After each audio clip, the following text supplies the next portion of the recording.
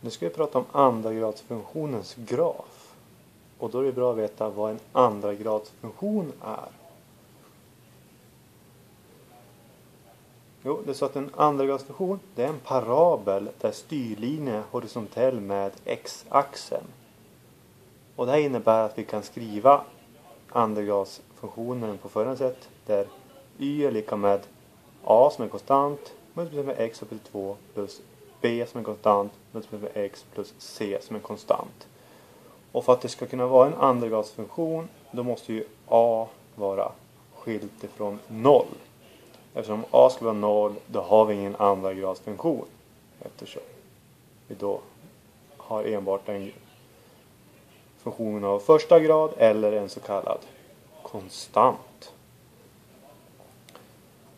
Och hur ser en sån här graf ut? Tar vi två stycken exempel.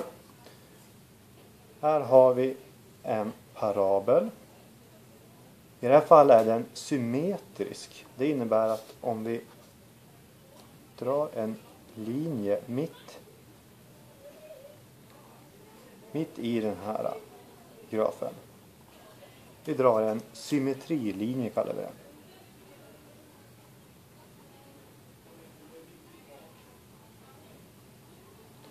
Det innebär att den här delen blir en spegelbild av den här delen. Alltså är den symmetrisk. Här nere har vi den här kurvans vändpunkt eftersom här ser vi att den är en avtagande och sen så vänder den och så blir den då stigande. Här längst ner har vi kurvans vändpunkt.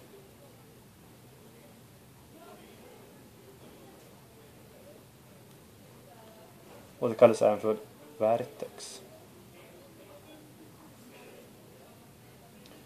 Vi ser att den här kurvan korsar x-axeln på två ställen. Där och här. Det innebär alltså att vid de här punkterna så är y lika med 0. Och då har vi så kallade nollställen. Det innebär att där kurvan skär x-axeln där har vi funktionens nollställen.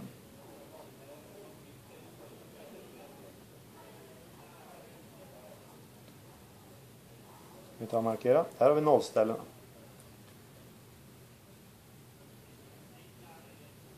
Och vi ser här har vi en parabel, en andragradsfunktion där vi har en så kallad minimipunkt. Det vill säga det här är det minsta värde på grafen vi kan ha. Och det beror på att koefficienten framför x kvadrattermen är större än 0. Då får vi en minimipunkt.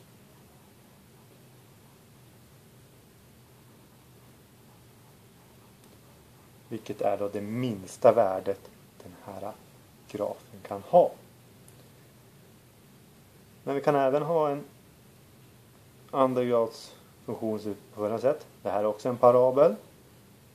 Där då styrlinjen är horisontell med x-axeln. Det innebär även här att vi kan ta och dra en så kallad symmetrilinje eftersom den här kurvan är symmetrisk kring den här linjen. Här har vi en till symmetrilinje.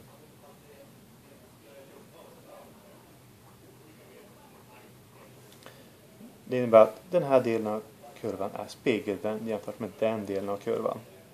På samma sätt som den här har vi då en vändpunkt på kurvan. Här har vi kurvans vändpunkt.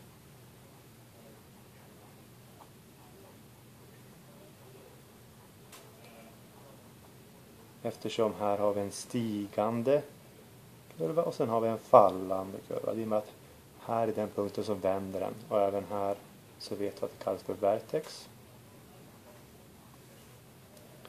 Vi ser även på den här grafen så korsar vi x-axeln på två ställen och vi vet att där kurvan skär x-axeln, där har vi funktionens nollställen. För där är y-värdet noll. Så vill man ut, y, vill man ut nollställen så kan man ta reda på vart y-värdet är noll. Och vad mer vet vi? Jo, i det här fallet har vi en maximipunkt. Det vill säga vi har ett största värde på den här grafen. Och det beror på, på att a är mindre än 0. Det vill säga koefficienten framför x kvadrattermen är mindre än 0. Då får vi en maximipunkt.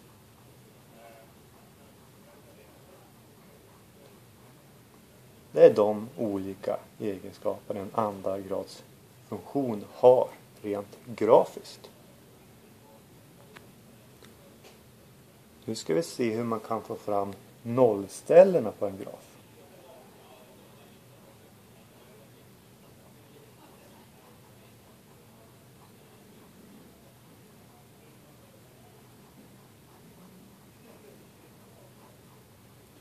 Och eftersom en graf är en funktion som vi har i ett koordinatsystem så ska vi bestämma funktionens nollställen.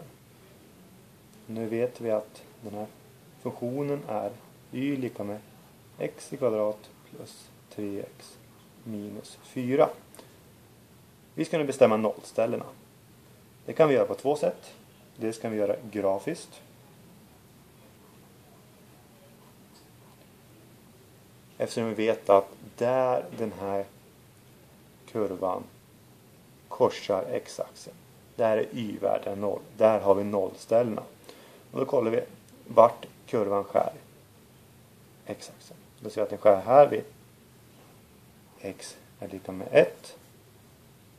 Och den skär vid x är lika med negativ 4. Nu har vi bestämt funktionens nollställen grafiskt. Men vi kan även bestämma dem algebraiskt.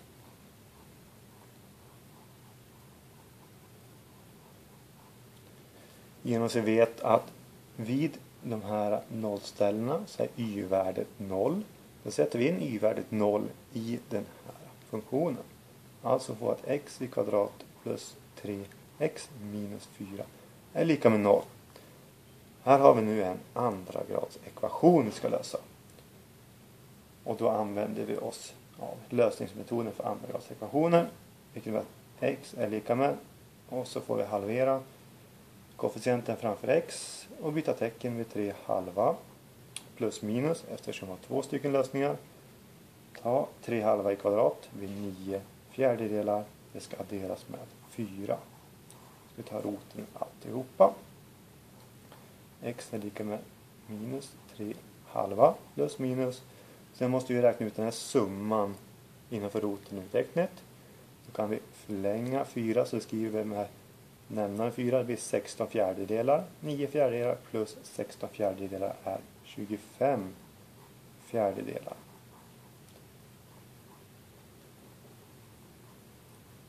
Och eftersom vi nu har roten ur en kvot så innebär det att vi kan ta roten ur täljan för sig och roten ur nämnaren för sig. Tar vi roten ur 25 är 5, roten ur 4 är 2. Alltså får vi våra två lösningar. Den första vi tar med positivt tecken det vill säga minus 3 halva plus 5 halva. Det kommer ge 2 halva som då är 1. Den andra lösningen är minus 3 halva minus 5 halva. Det kommer ge minus 8 halva som är lika med minus 4. Här har vi våra två lösningar. Och då ser vi att det är precis samma lösning som vi fått grafiskt. Och här ser vi att det här det är symmetrilinjen.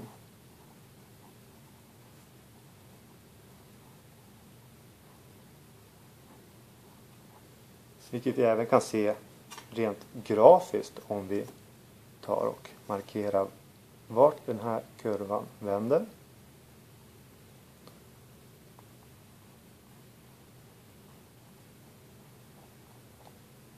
Vi ser rita ut symmetrilinjen.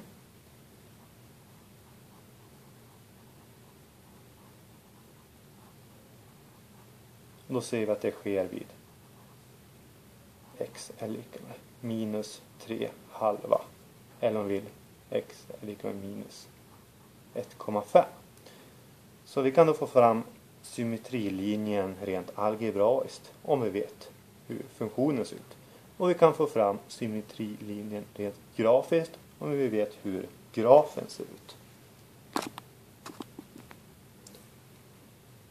Nu vet vi hur man får ut nollställena på en andragradsfunktion. Men då är frågan, hur många nollställen kan en andragradsfunktion ha? Jo, vi vet ju att en andragradsfunktion, om vi ska ta ut nollställena så sätter vi att y-värdet ska vara 0 och då får vi en andragradsekvation. Det vill säga, vi får en ekvation vi ska lösa. Det här är någonting som vi även kan skriva om på följande sätt genom att exempelvis dividera med a i varje term. Och det här känner vi igen. Det här kan vi använda PQ-formen att lösa. Så en andragradsekvation, rent algebraiskt så vet vi då att den har ett visst antal lösningar. Vi vet att den exempelvis kan ha två stycken lösningar. Och det innebär att en funktion kan ha två stycken nollställen. Och hur ser det ut? Jo, då har vi en andragradsfunktion och om den korsar x-axeln på två stycken ställen då har den två stycken nollställen. Och hur vet vi det rent algebraiskt? Jo, vi kommer ihåg att om vi löser den här ekvationen så vet vi om diskriminanten är större än noll. Det vill säga det som står under rotinteckningen. Om det här är större än noll då har vi två stycken lösningar till den här ekvationen. Och på samma sätt skär den här grafen x-axeln två gånger så har vi två stycken nollställen. Så vi kan ju se både grafiskt och algebraiskt om en andragradsfunktion har två stycken nollställen. Men vi kommer även ihåg att om vi löser en andragradsekvation så kan vi få att vi bara enbart har en lösning. På motsvarande sätt har vi då ett nollställe i en andragradsfunktion. Hur ser det ut? Ja, då har vi våran andragradsfunktion och om den precis tangerar x-axeln i en enda punkt har vi enbart ett nollställe eftersom det är det enda ställe som den så kallat skär x-axeln. Nu skär den inte, den bara tangerar den punkten. På samma sätt rent algebraiskt så vet vi att om diskriminanten är lika med noll om vi skulle lösa den här ekvationen. Det vill säga, vi får ut följande uttryck. Om det är diskriminanten är lika med noll då har vi enbart en lösning och det är det vi kallar för en dubbelrot. Och det är precis vad vi har här. Det här kan man säga att vi har ett nollställe, alltså en dubbelrot, precis där den tangerar x-axeln. Ja, nu har vi ju pratat om en andragradsekvation, hur många lösningar den har och då har vi sett att det har ju motsvarat hur många nollställen en andragradsfunktion har. Hittills kom vi fram till att det kan ha antingen två nollställen eller ett nollställe eftersom vi vet en ekvation kan ha antingen två lösningar eller en lösning. Och vi vet även att en andragradsekvation även kan sakna lösningar. Och det innebär att en andragradsfunktion kan sakna nollställe. Och hur ser det ut rent grafiskt?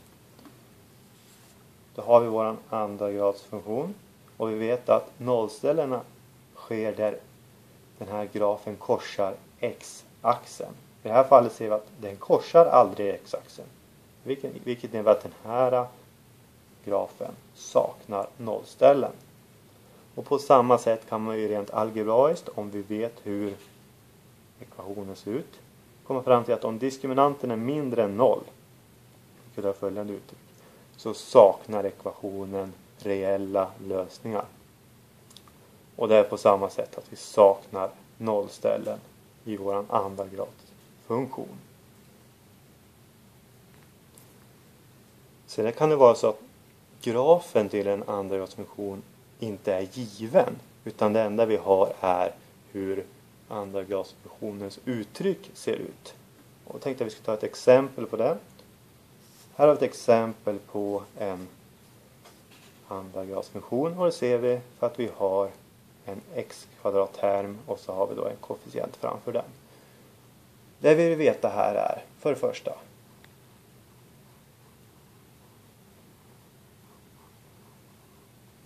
Har den här äh, andagats-funktionen några nollställen. Och det får vi då fram genom att vi kollar vart den här funktionen skär x-axeln. Och nu har vi ju ingen graf uppritad men vi vet att det är samma sak som att säga att för vilka x-värden är y-värdet 0. Då sätter vi 0 på vårt y-värde och ska då bestämma x-värdet.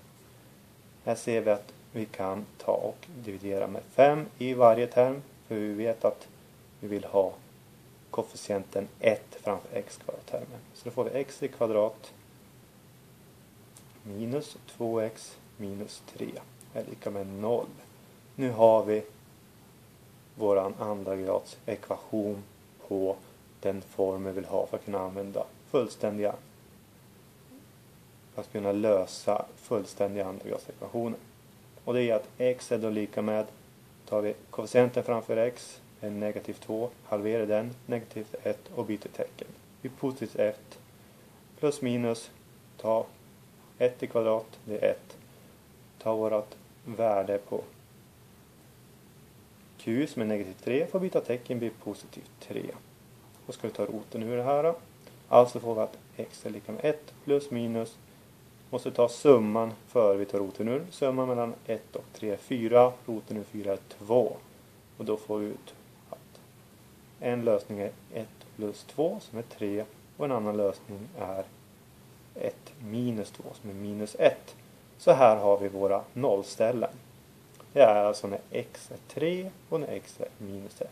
Då skär den här funktionen x-axeln. Nästa fråga.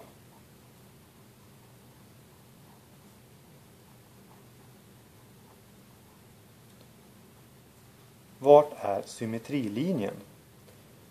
Och symmetrilinjen vet vi är det som vi har fått ut här.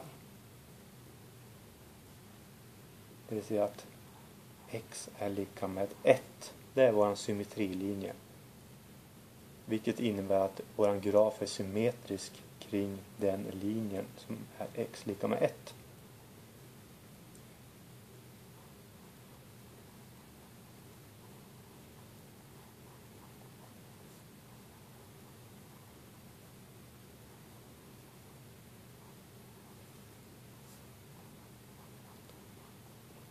Sen då är frågan, är det här en maximi eller en minimipunkt? Och då vet vi att det är koefficienter framför x kvadrat-termen som avgör om det är maxim eller minimipunkt. Och i det här fallet ser vi att koefficienten är positiv. Det vill säga att a är större än 0. Och då kommer vi ihåg att det gav att det var en minimipunkt. Så den har ett minsta värde. Och vad är minimipunkten då? Vad har den för koordinater? Jo, vi vet ju att symmetrilinjen går vid x lika med 1. Och det är ju precis längs x lika med 1 som vi har kurvans vändpunkt, så kallat vertex. Och det är där som vi i det här fallet har det minsta värdet. Så vi tar vårt värde på x, sätter in det i vårt funktionsuttryck. Då får vi det minsta värdet på y. Så sätter vi y av 1. Vi har 5 multiplicerat med x som är 1 i kvadrat, det blir 5. 10 multiplicerat med 1 är 10 och så är det negativt, det blir negativt 10. Negativt 15. Summerar ihop detta så blir det negativt 20. Vi har då en minimipunkt där x är 1 och y är negativt 20. Och hur ser en sådan graf ut då? Ja, då kan man ju rita upp den med exempelvis en miniräknare för vi har ju hur funktionsuttrycket ser ut. Gör man det så kommer man få att det ser ut på följande sätt. Här har vi x-axeln, här har vi y-axeln. Här, stegen mellan här är 1, stegen mellan här är 5 och det blir negativt 5 eftersom det går neråt på y-axeln. Då kollar vi nollställena där den skär x-axeln. Det har vi här. och där gör vi 1, 2, 3. x är lika med 3. Och sen har vi att den skär här och det är ju ett steg åt vänster på x-axeln, det vill säga negativt 1. Då kan vi alltid kontrollera vad vi fått här. x är lika med 3, x är lika med negativt 1. Det är våra nollställen. Sen skulle vi bestämma symmetrilinjen. Och det innebär ju att vi ritar upp en linje här där kurvan är symmetrisk. Och då blir det utifrån den punkt där den har sitt vertex. Och symmetrilinjen ser vi att den går in x är lika med 1 och x är lika med 1 hela den här vägen. Så det är en symmetrisk linje här. vill säga här har vi kurvan och här har vi dess spegelbild om vi så vill. Och då kan vi ju alltid kontrollera. Här fick vi att symmetrilinjen var x lika med 1. Sista frågan var, har vi max eller minimipunkt? Ja, det ser vi direkt här har vi minimipunkt eftersom det här är minsta värde vi kan ha. Och hur stort är det här värdet? Ja, vi får gå minus 5, minus 10, minus 15, minus 20 i y-led och vi ligger på plus 1 i x-led. Så punkten här, vertex, minimipunkten i det här fallet, är koordinaten 1 minus 20. Vilket vi även ser att vi kom fram till här.